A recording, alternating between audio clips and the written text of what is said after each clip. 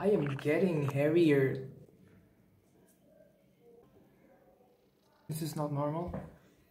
But we're going to talk about what's normal. How to stay fit in a quarantine just using this or nothing at all and using your body weight.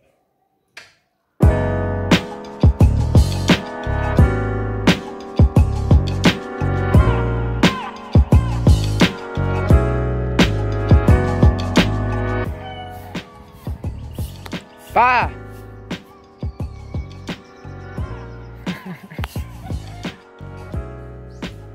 the first thing you have to do is stretch your body from lower body to your upper body so you can work out pretty well and with ease.